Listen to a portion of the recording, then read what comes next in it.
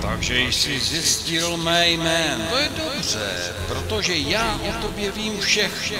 Bruce Wayne.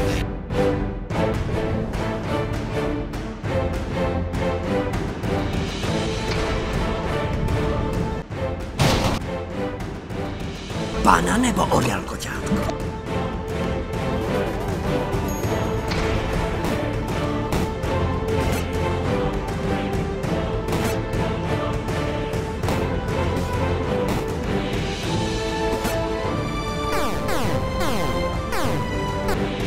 Tady je to nebezpečné.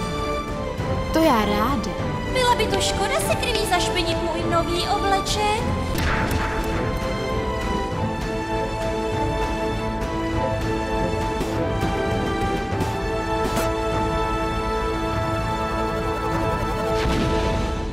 Všechno to byla lež. Jsi naprosto v pořádku.